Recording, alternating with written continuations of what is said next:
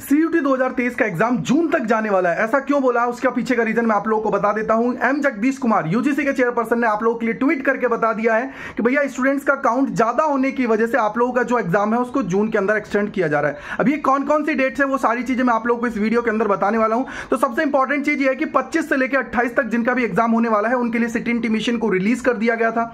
अब उसके बाद में, अभी जैसे ही वो ट्वीट आया तो ट्वीट में बोला गया है कि भैया स्टूडेंट्स का काउंट बहुत सारी सिटीज़ के अंदर ज़्यादा अमाउंट में है। और रजिस्टर जो कैंडिडेट्स हैं वो ज़्यादा है। तो इस वजह से क्या हो रहा है कि एग्ज़ाम को एक्सटेंड किया जा रहा है एक, दो और पाँच और छह जून के लिए। इसके अलावा सात और आठ जून को यहाँ पे बफर रखा गया है, यानी कि हो सकता है सात और आठ जून को भी आप लोगों का एग्ज़ाम कंडक्ट कराया जाए। तो ये इंपॉर्टेंट अपडेट है कमेंट सेक्शन के अंदर ज़रूर बताइएगा और टेंशन बिल्कुल मत लीजिए। जिन भी स्टूडेंट का अगर एक स्लॉट में आया है पेपर हो सकता है पच्चीस से अट्ठाईस के बीच में सिर्फ़ एक बार ही उनका पेपर हो रहा हो तो बचे हुए जो सब्जेक्ट्स है, उनका पेपर है, वो बाद में भी होगा। तो डोंट वरी टेंशन बिल्कुल लीजिए और कमेंट सेक्शन के अंदर बताइएगा कि अब आप लोग खुश हैं या नहीं है, क्योंकि यही सबसे इंपॉर्टेंट चीज़ है कि आप लोगों के लिए अच्छा टाइम मिलने वाला है एग्ज़ाम की तैयारी करने के लिए। तो इसी प्रकार की अपडेट्स के लिए जुड़े रहिए अड्डा ट्वेंटी फोर सेवन सी चैनल के साथ।